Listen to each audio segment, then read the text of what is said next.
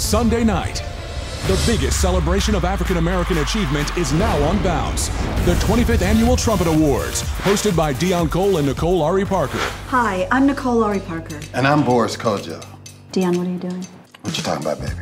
Okay, first of all, I'm not your baby. Second of all, shh. Just go with it. It's the 25th Annual Trumpet Awards with Deon Cole and Nicole Ari Parker. Sunday night, 9, 8 central on Bounce TV Our Way. nobody's buying this, Deon. I am.